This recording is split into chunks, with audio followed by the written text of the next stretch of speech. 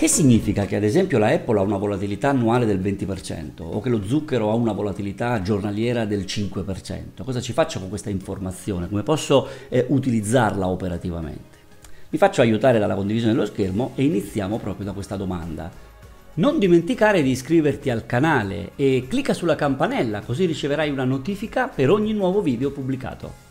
Ci immaginiamo questo titolo ipotetico che ad esempio abbia un valore di 50 dollari e ci chiediamo che significa che questo titolo ha una volatilità annuale del 20%? Beh, la risposta è sostanzialmente molto semplice, perché la volatilità indaga un campo di probabilità. Cioè sostanzialmente la risposta è questo titolo ha alte probabilità che nel corso di un anno il suo prezzo si muova il 20% sopra o il 20% sotto. Ecco cosa significa la volatilità annuale del 20%. Cioè a un anno da qui questo titolo potrebbe trovarsi a 60 o a 40. Ecco, qui abbiamo la prima implicazione immediata, semplice da intuire. Più la volatilità è alta e più le aspettative che il titolo si muova sono alte. Chiaro, prendiamo una blue chip americana molto stabile anche da un punto di vista di fondamentali, avrà una volatilità relativamente bassa, Prendiamo un, eh, un, titolo come GameStop che quest'anno ha fatto scalpore e chiaramente ha una volatilità di, di, del 250%. Perché? Perché di qui a un anno potrebbe essere il 250 sopra o il 250% sotto. Lo stesso vale per i future e per qualunque tipo di strumento finanziario.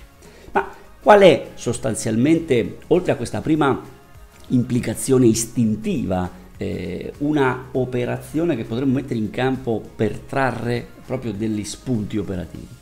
Beh, considerando che eh, indagare la volatilità significhi sostanzialmente appunto indagare un campo di probabilità all'interno del quale si potrà trovare il titolo nel periodo preso in considerazione, noi cerchiamo sostanzialmente di trarre eh, le informazioni da due variabili, che sono la volatilità storica e la volatilità implicita.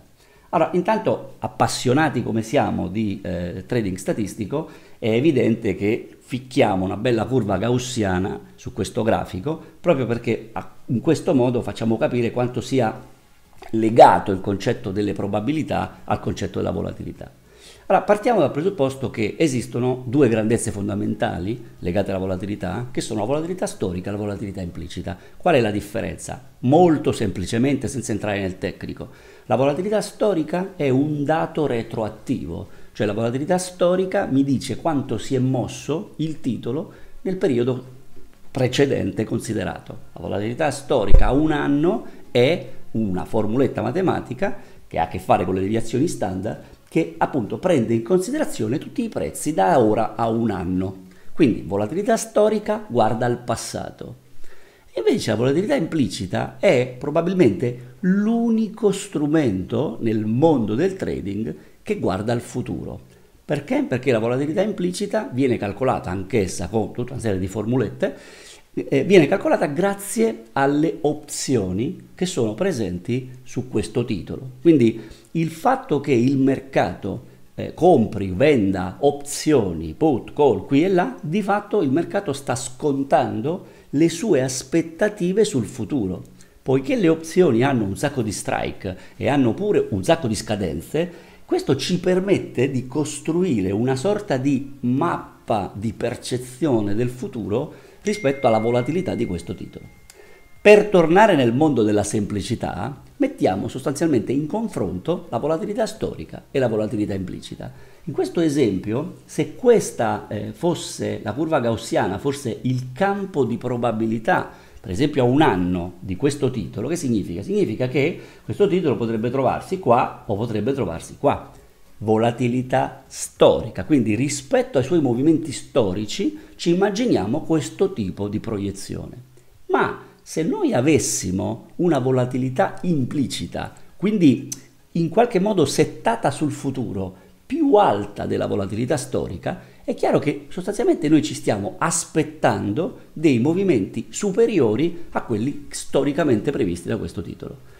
Al contrario, se noi abbiamo la volatilità implicita inferiore alla volatilità storica, significa che in questo momento questo titolo sta vivendo, tra virgolette, una vita un po' più tranquilla rispetto a ciò che storicamente fa.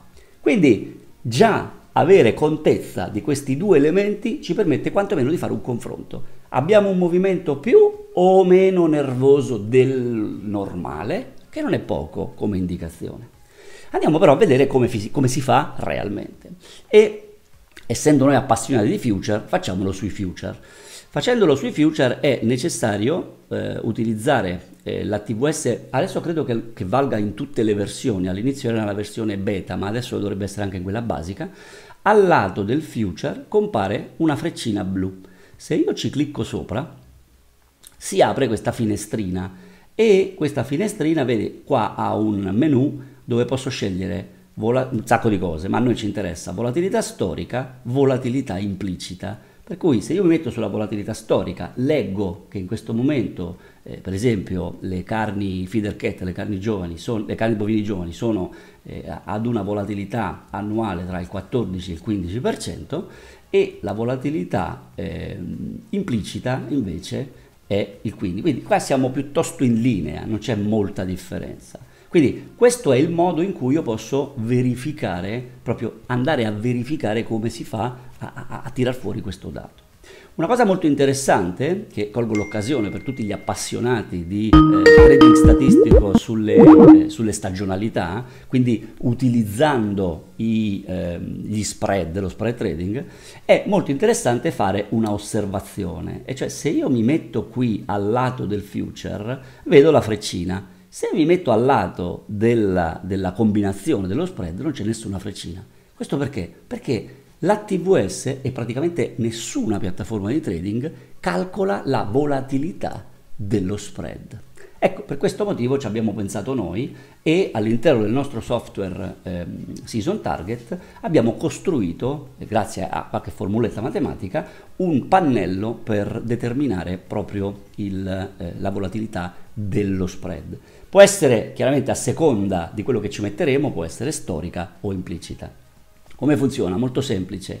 Noi sostanzialmente indichiamo ticker, ecco, indichiamo il numero di deviazioni standard, qui magari faremo un, appro- un approfondimento in un prossimo video, a un giorno, quindi indago la volatilità giornaliera, numero di contratti 1 e che cosa faccio? Vado a prendermi, per esempio, il caffè, caff- eh, spread dicembre-maggio, no? quindi sfrutto le, ehm, le scadenze di dicembre e maggio del caffè, vado sui singoli future e mi vado a prendere il dato sulla volatilità storica. Mi prendo il dato sulla volatilità storica, chiaramente mi prendo il prezzo attuale, quindi ho due gambe, gamba 1 prezzo e volatilità storica, gamba 2 prezzo e volatilità storica. Clicco, calcolo e che cosa viene fuori? Viene fuori un dato molto interessante e molto importante. Ho intanto la volatilità dello spread, in questo caso è il 18%, ma la cosa più importante è che sono in grado di valutare i possibili movimenti monetari sopra e sotto il prezzo attuale. Quindi allo stato attuale io per esempio posso aspettare un movimento di 477 dollari a tre deviazioni standard, che è veramente una roba incredibile, no? cioè è difficilissimo succedere. Abbiamo, questo vuol dire che c'è il 99% di probabilità che oggi questo titolo si muova di più o meno 477 dollari. Perché è importante? Beh, è importante perché potrebbe avere a che fare con gli stop. Cioè se io ho una previsione statistica di stop ad un certo livello e vedo che la volatilità giornaliera è particolarmente alta da darmi uno scostamento che in qualche modo si avvicina allo stop, e beh, vuol dire che mi trovo di fronte a eh, uno spread particolarmente nervoso in quel momento. Quindi è un ulteriore elemento che io posso aggiungere all'analisi precedente di eh, volatilità storica contro volatilità implicita.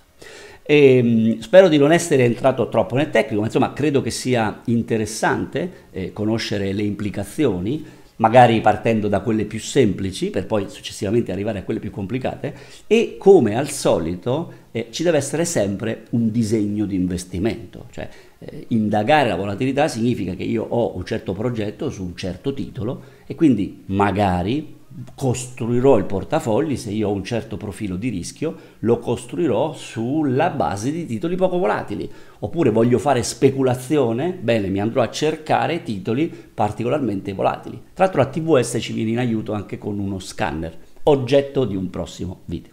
Bene, grazie, alla prossima, ciao!